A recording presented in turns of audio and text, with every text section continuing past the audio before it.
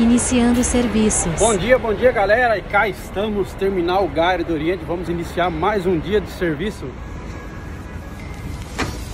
Vamos aqui abrir a nossa máquina, tudo no padrão, a roda naquele padrão, naquele pretinho, vamos que vamos. Vou mostrar aqui uma curiosidade para vocês, no momento em que a gente vai ligar o carro, que vai dar a partida, você pode tanto ligar aqui na chave ou aqui no botão de partida de ignição.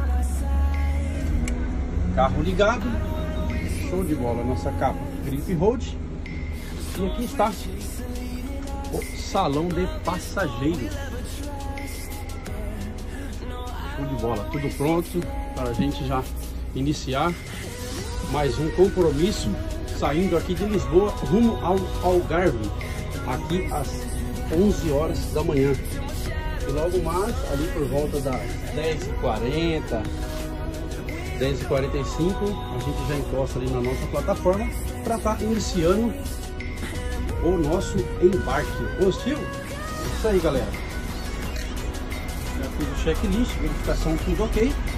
Vou mostrar outra curiosidade aqui para vocês. Aqui no comando da porta nós temos o primeiro botão e o segundo botão. O segundo botão eu consigo fazer a abertura e fechamento da porta secundária. Veja, apertei e a mesma de aciado. Isso aqui facilita muito o momento de embarque e desembarque. De repente quando você tem o passageiro para embarcar e ele está do meio do carro para trás e o pessoal que está ali na dianteira, então já abre essa porta secundária, já facilita muito aqui o embarque do nosso passageiro. É isso aí, galera. Carro naquele padrão. Show de bola. Terminal Gare do Oriente, Lisboa.